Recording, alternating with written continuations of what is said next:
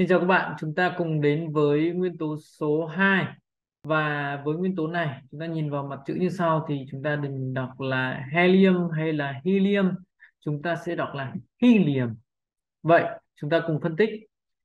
Với âm tiết đầu tiên các bạn thấy dấu trọng âm đang đứng trước âm tiết số 1 vậy âm tiết số 1 được nhấn trọng âm. Chúng ta hay đọc nguyên dấu sắc. Hít.